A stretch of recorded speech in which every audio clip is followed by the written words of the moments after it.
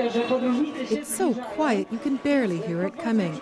It's just another pit stop for the 100% electric Citroën C-Zero and its two French drivers, Antonin and Xavier.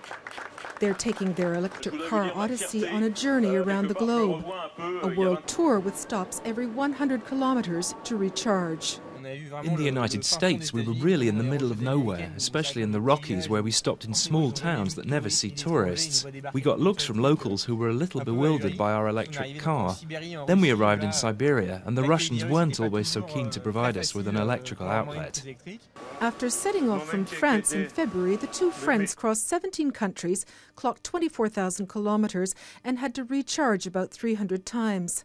All for just 250 euros, about seven times less than what they would have paid for gasoline. They also hope to have changed some minds about electric vehicles along the way. This isn't a golf cart.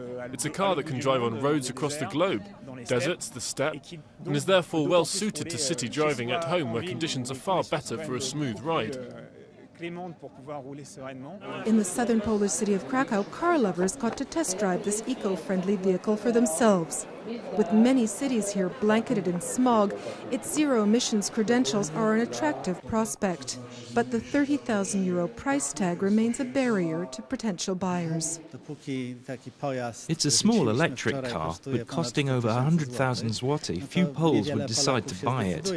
It would be a different story if it were only 50,000 zloty.